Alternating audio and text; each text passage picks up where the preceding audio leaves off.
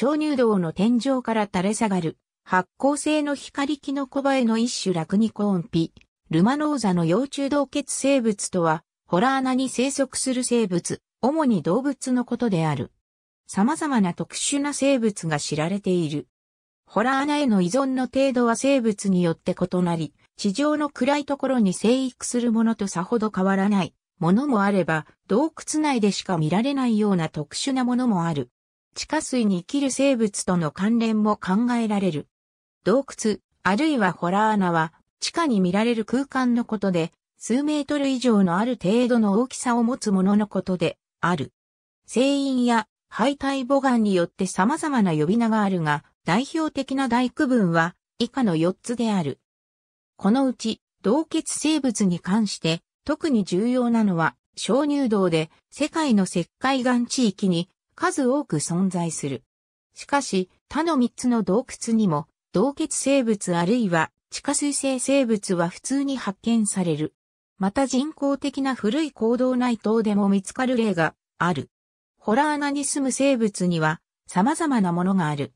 ホラー穴を生活すべての場とするものもあれば、生活の一部にホラー穴を使用するもの、必ずしもホラー穴を必要としないものまである。また、地下水生の生物がホラー穴に出現するという場合もある。光がないので植物は存在しない。キノコの出現も稀である。観光化された洞窟ではライトアップされた場所に苔などが出現し、これは照明植生と呼び、普通は洞穴生物には含めない。なお、微生物についてはあまり取り沙汰されない。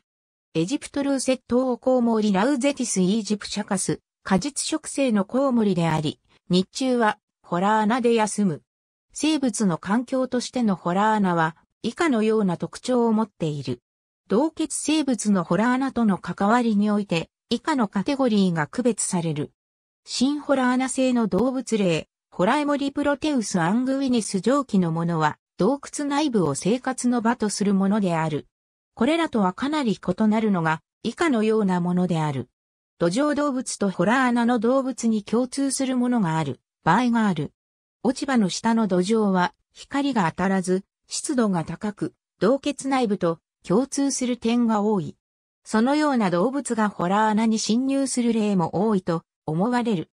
また、メクラチビゴミムシなどは、元来は洞穴性のものと考えられていたが、近年はそれ以外の地域においても、土壌の深部から類似のものが次々に見つかっている。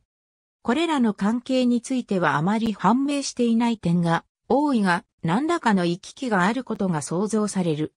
地下水生物というのは、地下水に生息する生物であり、ホラー穴のない地域の地下水からも色々な生物が見つかっている。ほとんどは微小であるが、井戸などからやや大柄なものが見つかる場合もある。そういった中に、洞穴内の流れに姿を見せるものがあると考えられる。また、洞窟内の広い流れにのみ生息する地下水生生物は、結果としては洞穴生物となるであろう。ワイトも洞窟の入り口大抵は洞穴内にわずかに生息する生物であり、人間生活との接点は少ない。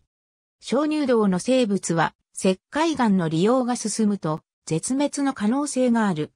数が少ないものも多く、常にその保護に配慮せねばならない。数は少ないながら利用例もある。ニュージーランドでは、ホラー穴の天井に発光性の光キノコバエの一種、ラクニコーンピルマノーザが多数生息しているホラー穴が観光化されている。同様に、オーストラリアでもエーフレイバが生息しているスプリングブルック国立公園のナチュラルブリッジが観光地化されている。これらの昆虫はしばしば土ボタルと呼ばれるが、ホタルと禁煙ではない。また、同血性の魚類には熱帯魚として干渉されているものもある。ありがとうございます。